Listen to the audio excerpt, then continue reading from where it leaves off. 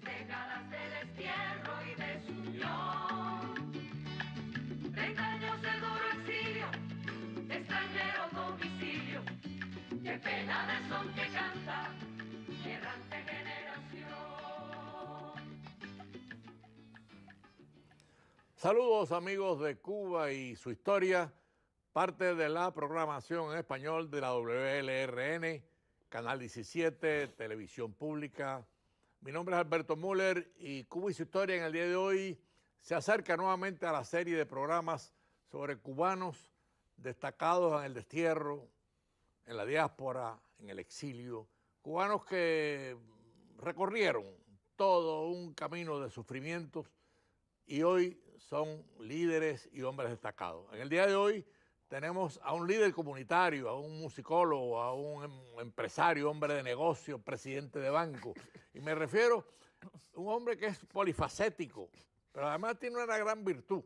Y debo decirla antes de, antes de que ustedes lo vean. Y me refiero a Eloy Cepero. Lo mejor que tiene Eloy Cepero es que es un ser humano humilde y un gran amigo. Bienvenido a Cuba Gracias, Historia, gracias a ti. Es un, un placer estar contigo aquí. Veo este programa de vez en cuando. Sí, tengo bueno. chance. No, it's good. Pues eh, Eloy, porque la, la- la televisión corre más rápida que nosotros y tú fuiste corredor, vamos a pasar después por ahí, pero bueno, eh, tú sales de Cuba como Pedro Pan, en el proyecto Pedro Pan, aquel proyecto humanitario de, creo que fueron 14 o 15, 14.040 muchachos. que 14.040 niños Mm. que las familias los sacan de Cuba para Que no cogiera la ley de... salvarlos de toda la patria potestad y de todo el dramatismo que implica un régimen comunista. Efectivamente, Eloy llega acá como Pedro Pan y bueno, eh, queríamos darte la bienvenida. Gracias. Háblanos un poco de ese Eloy niño que llega aquí con Pedro Pan y una familia americana lo, lo acoge. Claro, fíjate, una de, la- de las bendiciones que tuve, que mi abuelo, que no sabía leer ni escribir, pero llegó a, ser, a tener mucho dinero, me mandó a un colegio americano, al Candler College. So, cuando nosotros salimos en la operación Pedro Pan por la iglesia metodista, Sí. caemos en casa de uno de los hombres más importantes de Estados Unidos. Eh, el señor McGregor Smith, chairman of the board de Florida Power Light y miembro de la- de la- del grupo de, de la energía atómica de Estados Unidos, era el director de la Eastern Airlines, de- de- del Banco de la Reserva Federal, y se hace cargo de tres varones, que eso, vaya, es, creo que es primera vez en, la historia que se hace eso. Eh, y entonces, y- imagínate que caímos en una casa donde teníamos chofer, butler eh, y maid. Comíamos los bienes en un country club. Todos los bienes en un country club distinto. vaya. La gente decía, Guajiro, familia- ¿dónde ustedes han caído? Había billetes. Familia rica. No, no, rica. Y entonces, Pero tú sabes, perdón que te interrumpa, Eloy, eso es lo que demuestra un poco el perfil humanitario de este país. y de los americanos. Y de los americanos, a eso me refieres. Ahí sí. Y, no, y entonces cogieron y eh, me puso mucho énfasis en la educación. Es más, cuando terminé la educación me dice, ahora tienes que servir en el ejército. Entonces me eh, cogió y me metió en el Navy, eh, porque no quería ir a donde era Vietnam y no quería que yo me metiera en el Army. Y entonces después trae a mis padres de Cuba, los, los manda a buscar por mediación del embajador americano en México, los trae para, para, para los Estados Unidos, le compra una casa y el negocio en Tampa. Eso, eso no se da más nunca. Eh, un hombre que, vaya, que te voy a decir, yo no puedo hablar de él porque empezó a llorar. Claro. Eh, un hombre que un día le dije, ¿cómo te podemos reparar? Y dice, cada vez que ayudas a alguien, me estarás repagando. Mira tú. Él dice, es el deber de que tiene poder y dinero ayudar al que no lo tiene.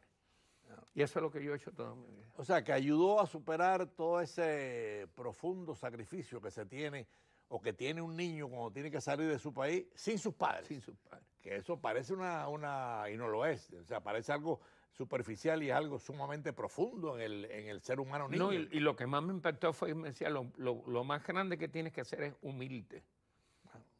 Dice, eh, dice, cuando tú eres poderoso y tienes dinero, tú tienes que ser humilde, porque ese- esa es la única manera que la gente te va, te va a apreciar quién tú eres. Sí, a respetar. claro. Y eso, vaya, lo he llevado siempre. O sea, que ese, ese, ese acto humanitario Fue él y mis abuelos también que eran iguales, de esa manera. te formaron de al Eloy Cepero que tenemos hoy con día. nosotros. Ah, sí, mucho trabaja y, y trabaja mucho. Tú tienes que estudiar mucho y trabajar mucho.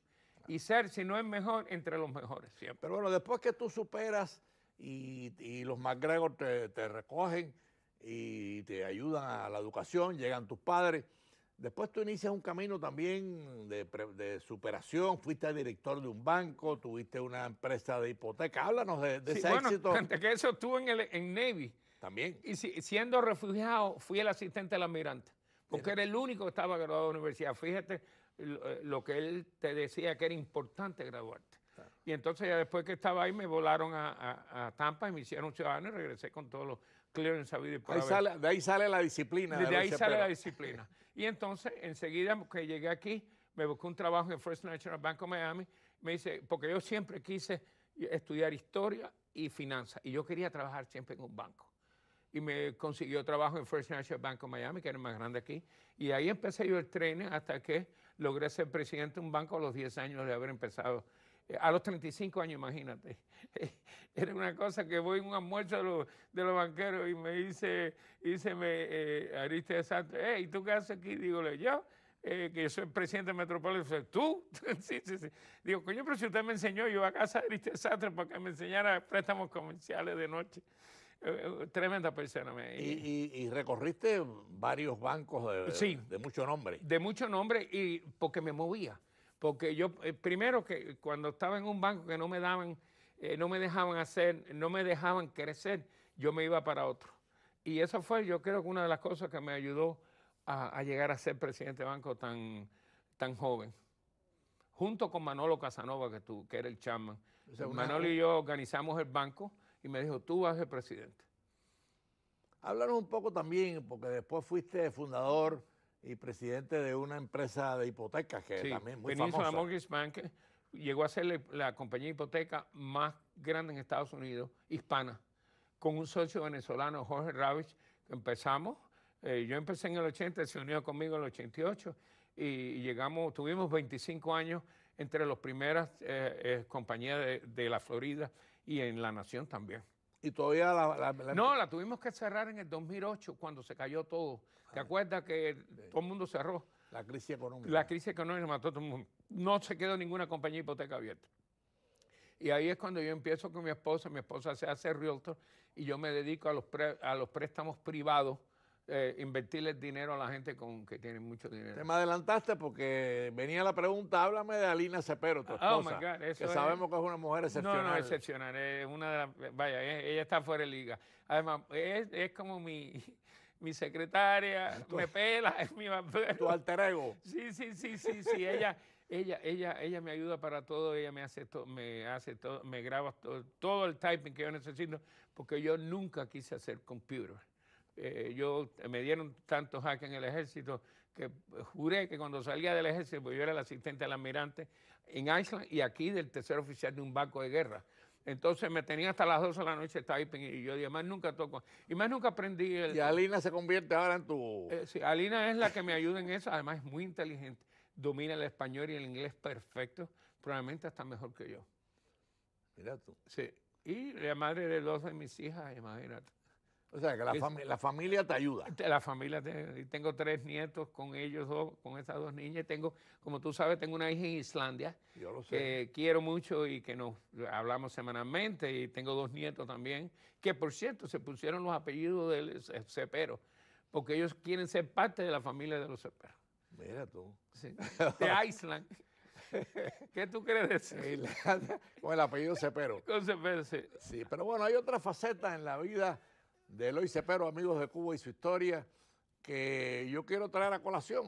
Pues por cierto, quiero agradecer a todos los, televidentes que nos han escrito sobre el programa anterior que inauguró la serie de cubanos destacados en el destierro, o en la diáspora, o en el exilio, eh, con el doctor José L. Dotres, superintendente del sistema escolar de Miami-Dade. Hemos recibido cientos de llamadas y lo agradecemos mucho. Así que en esta- estamos continuando con esa serie, en esta momento con el, con el líder comunitario don Eloy Cepero, gran amigo. No, y tiene, buen, tiene buen, buen, bu- buen horario también. El programa, eh, Sí. el domingo, es un, pues, la gente está en la casa mirando la televisión. Háblanos un poco del Eloy Cepero deportista, porque fuiste inclusive eh, un corredor destacado. Y eso, Sí, bueno, yo corrí en el Candler College y cuando llego aquí, eh, eh, salgo para ah, jugar básquetbol, hice el primer team de básquetbol, me tenían que tener un, un translator, porque el coach hablaba muy rápido, entonces me buscaron un, un puertorriqueño que me traducía, hice el primer team,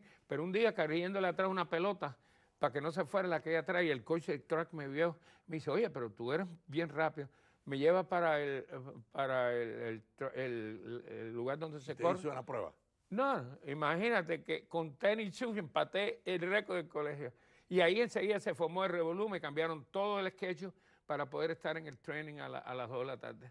Y a los ocho meses de llegar de Cuba me, seleccionaron uno de los, de los do- dos, o tres mejores corredores de, Miami. Para, el americano estaba que no, no cabía porque me levantaba por la mañana a, cogerme el timing, a, entrenarme.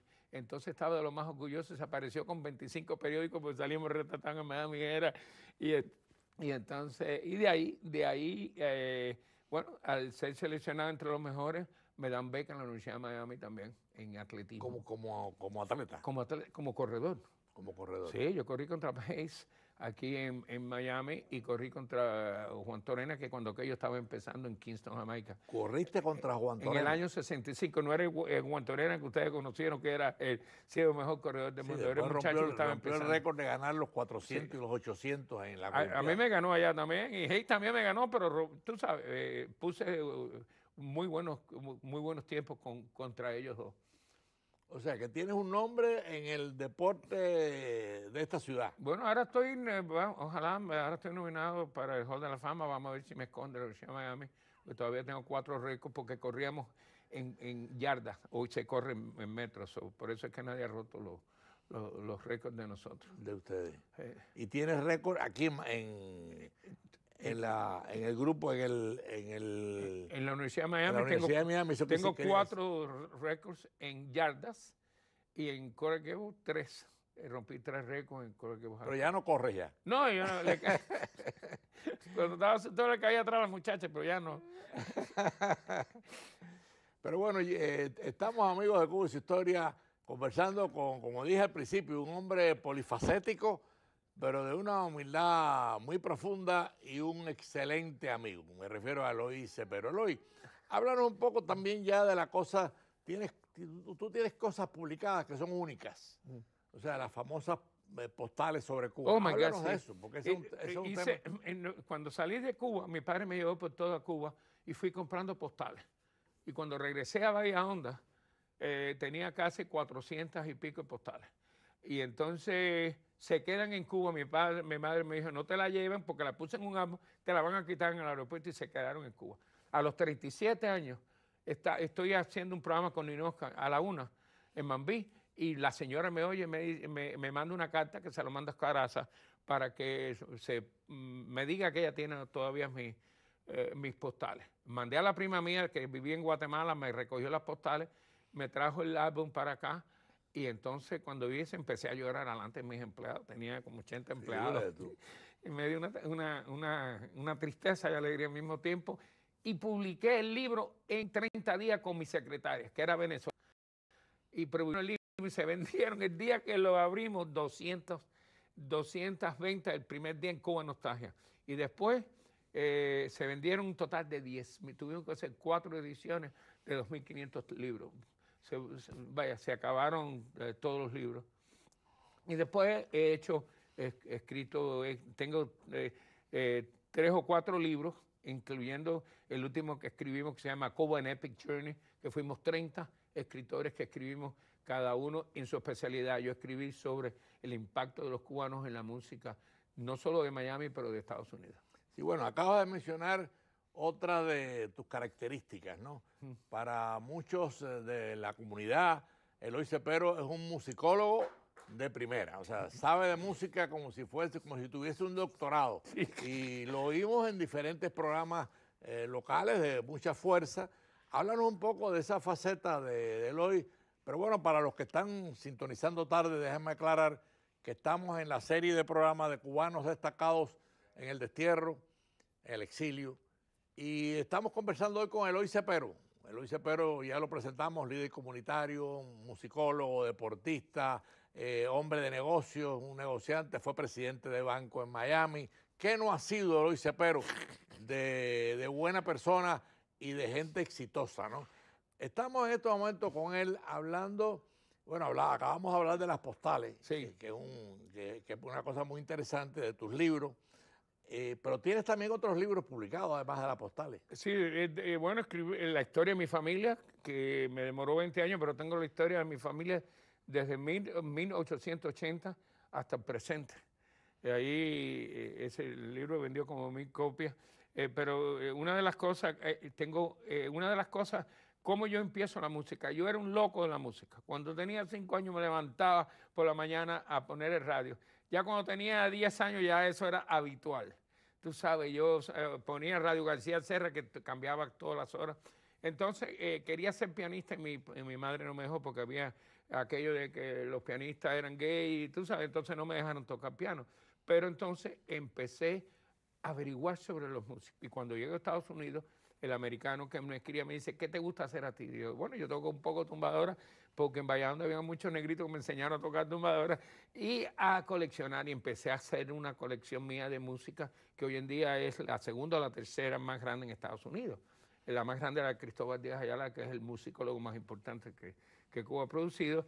Y entonces ahí es cuando yo me meto de lleno en la música, a investigar toda esta gente que me llamaban tanto la atención. Además, vivía frente por frente al, al- al- al Liceo de los Negros. Y traían los mejores conjuntos de Arsenio Rodríguez, Chapotín, a la orquesta modelo. Y yo decía, y me senté, yo, me- eh, eh, todo el mundo se iba a dormir y yo me quedaba, porque no me dejaban entrar, pero me sentaba en, afuera oírles. Y entonces después eh, convencí a mis padres que trajeran a Tejedor, que eran negros y eso, a la Sociedad de los Blancos. Mi padre estaba en la directiva, entonces siempre fui atraído a la música. Y cuando llegué aquí, empecé en la Universidad de Miami a averiguar sobre todas estas grandes figuras. Y, y bueno, hasta el punto de vista que, me, como tú dices, me he convertido en un, un musicólogo. Ya nadie sabe ni que fui banquero, ni que, ni que presto dinero, ni nada, sino que soy un musicólogo. Increíble. Pero bueno, el, el archivo que tienes es único. Porque Bueno, una cosa que estoy haciendo es, tengo tres canales de YouTube. Estoy grabando todas mis entrevistas que hice en la Universidad de Miami, 178 músicos grandes, José José, Oscar de León, todos los grandes y todos los cubanos. Y también eh, todo de 180 programas de televisión, también entrevistas. Todo eso está en YouTube y a que no pude entrevistar, estoy buscando eh, las, biografías de ellos, los documentales de ellos, los estoy subiendo también. El, canal que tengo junto con Armando Nubiola eh, ya pasó de un millón y pico de viewers. Comprende, se ha gustado muchísimo. Entonces tengo otro canal que es eh, nada más que todas las entrevistas eh, que me han hecho menos de 15 minutos, pues son unas cuantas. Porque otra cosa que hice, las grabé todas. Todos los programas de radio que yo he hecho los tengo grabados, los programas de televisión. Y entonces el Hoy Cepero, eh, Official Channel, que ahí están todas las entrevistas que me han hecho a mí que no tiene que ver con música. Claro. De finanzas, de historia, de deporte, de todo eso. Sin y eso es para dejar un legacy de, Claro. para que no se le olvide que la música cubana fue tan importante. Sin embargo, quienes tenemos el privilegio de conocerte, Eloy, y tú eres un hombre de, de mucha pasión humana, o sea, eso todo, sí. todo lo tomas con Con seriedad. y- no, y con mucha pasión. eso es. pero, pero si me preguntaran a mí, y esa es la pregunta que te hago a ti, ¿la música es lo que más te apasiona? Oh, por, por favor, ese, es que la gente me dice, cuando tú eh, haces el programa de radio, me parece que estoy conversando contigo, porque yo le pongo, le pongo tanta energía. Y además eso me prepara, porque tú no puedes ir, cada vez que entrevisto a grandes figuras, me, me preparo como haces tú. Si tú no te preparas, tú no puedes hacer ningún programa. No, no. entonces, entonces como, eh, como sé la vida de ellos, entonces la comunicación con ellos es muy buena. Y, y- y salen los programas afuera. Bueno, imagínate que en actualidad que estoy yo, sale 14 veces el fin de semana el programa mío. Yo quiero aprovechar para los amigos oyentes de Cuba y su historia, voy a hacer un anticipo, un adelanto, aprovechando que tenemos a Eloy. Estamos preparando una serie y por supuesto él nos está ayudando sobre la música cubana, así que prepárense que prontamente llega esa serie a Cuba su historia, porque no se puede hablar de música cubana si no se conversa con Eloy Cepero, porque lo sabe todo y tiene un archivo único. Así que bueno, es un, es un anticipo que le déjame damos. decirte, los temas son espectaculares. La influencia de la música cubana en Estados Unidos. La, la influencia bailable desde, de- desde Esteban Salas hasta, hasta el año 59, que es donde cubro yo, más o menos, el sentido que me fui. Y entonces el movimiento del feeling, como, como el, cambian el bolero tradicional y lo convierten en un feeling que recorrió América Latina completamente. Sí. Eh, el son, el bolero, todo eso, eso, vamos a hacer esos programas. Sí, sí. Eh, si no hay limitaciones, tú sabes, podemos cubrir tantos temas, porque además eso yo los he dado en conferencias. He dado más de 60 conferencias en el mundo entero, incluyendo en Israel. Yo lo sé. Eh, y, y eso, eso me sirve para poderme... Pero además ese es el objetivo de Cuba su historia, porque eh, la historia no solamente es la política, la historia cubana tiene la música, que es una música que uno recorre América Latina y el mundo, y, y la música cubana... No hay país en el mundo que tenga más géneros musicales que Cuba. Ah, Cuba Cuba. tiene 33 géneros y cuando musicales. se habla de historia de Cuba hay que hablar también, y estamos preparando una serie sobre el deporte, o sea, cómo transitar por la historia cubana sin un Kid Chocolate Oh, por Gavilán. Y los peloteros que hemos y tenido, los miren, peloteros Miñoso. en grandes ligas y en Cuba, Miñoso, en fin. Pues, Estamos preparando esa serie. O sea, que Cuba y su historia eh, no, se, no se para, está investigando temas para compartirlos con ustedes que son los dueños de este programa Cuba y su historia. Pero hoy, ya en la, en la fase final de este programa, estamos en la, en la música, la importancia de la música Sí. para ti. Pero hay un tema en el hoy que es inseparable y es su cubanía. Ah, sí. Tú eres- ¿qué, recuerdos tienes tú de Cuba que tuviste que abandonarla de Bueno, mi, niño? mi padre fue, corrió para representante, pues, fundador del partido Todos en Pinas de Río, corrió para representante en el 50 y el 52 para senador cuando Batista da el golpe de Estado. En mi casa visitaba a Elena Medero, Justo Luis Esposo, to- Roberto Agramonte, eh, entonces yo desde chiquito metido eh, con mi padre en todos los lugares y eso lo que me dio fue, eh, me dio más o menos eh, para estudiar. Est- Tuve un profesor también, eh, eh, Rolando Espinosa, que tú conociste. ¿Cómo no? Ese, un gran historiador que me enseñó mucho también y fue fu- miembro de, de la juventud, todo eso con mi padre. Entonces siempre me llamó la historia y, y, te- y estudié en un colegio, Candler College, que, que le ponía un énfasis tan grande, no solo a, a- las matemáticas, pero a la historia, a la geografía. Entonces eh, me gustó tanto la historia que siempre la seguí y estudié. Me gradué de la Universidad de Miami en historia y en finanzas, las dos cosas. Sí, y después lo hice en FIU también. So, so, eh, me preparé bien para poder hacer lo que estoy haciendo hoy en día. O sea, hoy, hoy eres un líder comunitario, musicólogo. eh, Sí, fui presidente de los Latin Beat, que Todavía es- sigues en la, en la, eh, como empresario. como empresario, en fin. pues yo presto dinero y vendo casa. Mi esposa vende las casas, yo hago los financiamientos de todo, hasta un millón de dólares, eh, es pr- préstamos privados, porque cuando el banco te, te tumba porque no te califica, yo te puedo aprobar a un interés más alto, Claro. pero puedes comprar tu casita. Claro, claro. pues, Es una ayuda a la comunidad, ¿no? Y además eso me mantiene alerta siempre. Además, eh, mirando todas las propiedades del condado de eso, sé todo lo que está pasando en el condado de eso. Una pregunta que, te- que yo te haría. Si mañana Cuba es libre, ¿volveríamos a Cuba? Bueno, yo vería, y lo que mi esposa dice, el problema de que ya cu- si- cuando esto se resuelva, ya, ya vamos a estar vivos los dos y vamos a tener nuestra familia aquí. So, probablemente tengamos algo ya, pero eh, no dejaremos a Miami porque Miami ha sido, eh, yo llevo 60 años en Miami, ha sido, vine de 15 años, comprende, y entonces ya eh, Miami es, el- el- es como cuando nosotros nos vamos de viaje y eh, todo el mundo quiere regresar a Pero es que Miami. Miami es como una provincia de Cuba, no, No, nos no, no, olvidemos. no, vaya. sí. No nos olvidemos. La séptima provincia de Cuba es Miami. Claro. Además, en Miami hay más de un millón de cubanos. O sea, de Cuba han salido Y casi... de, y de descendientes cubanos como un millón y medio. Sí, casi dos. Sí, o sea, casi casi, dos el, casi el 20% de la población cubana está en el, en el destierro. Y en Miami hay más del 10% de la población. Hay Y- más de un millón de cubanos. Sí, y, y como decía el alcalde Suárez, decía que mientras los cubanos, mientras esté el régimen allá, en Miami lo único que se va a hablar es de Cuba. Sí, Y ese- sí. Alguna gente les molesta, pero es lógico y humano que Eh, se hable de Cuba. Sí. Bueno, imagínate, ya aquellos han pasado, han muerto muchos, muchos han, han muerto. Eh, los que quedamos vivos, ya no estamos poniendo viejecitos también, pero eh, eh, como tú hemos dejado un, un legacy, en el, en el caso tuyo eres un gran patriota, un gran cubano y, y un hombre preparado. Eh, Tú eres un intelectual también, que y subiste 20 años preso, tengo entendido 15 también. años. 15 años y estuviste en el Escambray también, tú sabes, eh, eres un hombre que, que pagaste tus dues eh, y yo admiro tanto a esa gente, sobre todo los, los brigadistas. No, de- y, po- y- y puedo hablar con propiedad porque fui torturado. Tengo aquí dos heridas de bayoneta en esta pierna derecha. Eh, Y todo el mundo te quiere, Alberto. Bueno, De verdad, mi sí. carácter, ¿no? Un poco... Sí. La- Chévere, algunos- chévere. Mi y además, el americano me decía, siempre sonríete, te vas a ganar a todo el mundo sonriéndote. Sí. Y cuando tú tienes una buena sonrisa, te metes a todo el mundo en el bolsillo. Eso sí, es verdad.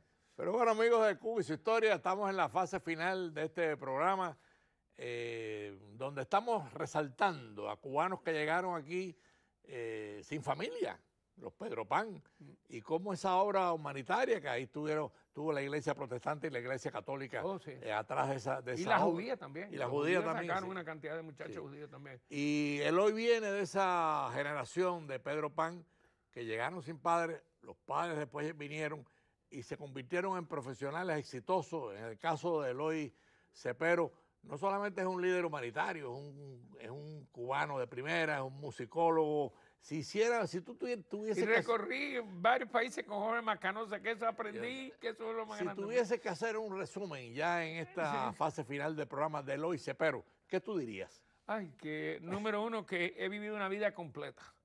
Tú sabes, he hecho todo lo que he querido, todo lo que me he propuesto, lo he, casi lo he logrado. Eh, te- tengo muchos amigos, eh, ayudo a todo el que puedo. eh, la gente me quiere y yo creo que eso es eh, importante, que cuando tú llegas a un lugar y ya el banco está cerrado y cuando toco la puerta me abren. Tú sabes, eso, eso, eso cuenta en todos los lugares, en las estaciones de radio. He estado en casi todas las estaciones de radio. Estuve en Mambí, estuve en la WQA, en La Poderosa. Dijiste una cosa clave, la importancia de ser querido. Sí. Pero eso no es de gratis. No, eso, Eso hay es que porque- pagarlo. Eso es porque tú quieres a todo el mundo. Ayudar a todo el mundo. A mí tú me llamas a las 3 de la mañana que se te rompió el carro. Tú me llamas a mi casa y yo me monto en carro y voy a resolver. Yo lo sé. Y eso no lo hace todo el mundo. No. Empezando mis hermanos que, que no lo hacen. Pero precisamente por eso, por eso te quieren Claro. tanto. Y yo te conozco hace muchos años, ¿no? Y bueno, yo soy uno de los que como amigo te aprecia y te quiere muchísimo. Gracias. Pero amigos de Cuba y su historia, lamentablemente hemos llegado al final de este programa que para mí ha sido exqu- exquisito porque tener a Eloy Cepero en un programa es como tener la vida, es como tener a Cuba vibrando, a tener la melodía cubana eh, con nosotros, tener sus libros, tener su vocación, su humildad, eh, su liderazgo, porque Eloy Cepero no se puede separar a Eloy Cepero de su li- li- liderazgo, es un líder comunitario que va por la calle y todo el mundo inmediatamente viene a saludarlo. Entonces, bueno, le agradecemos a Eloy Cepero que haya enriquecido esta serie de programas de cubanos que se han destacado en el destierro, en la diáspora o en el exilio, como le queramos calificar. Gracias, Eloy, No, por gracias tu a ti por presencia en- invitarme. en Cuba su historia. Y nos veremos el próximo domingo a las cuatro y media de la tarde.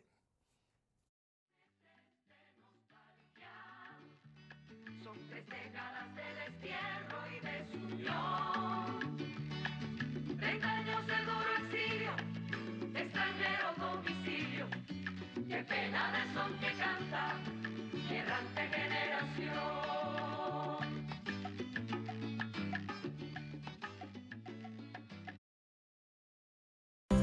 There are now more ways than ever to watch all your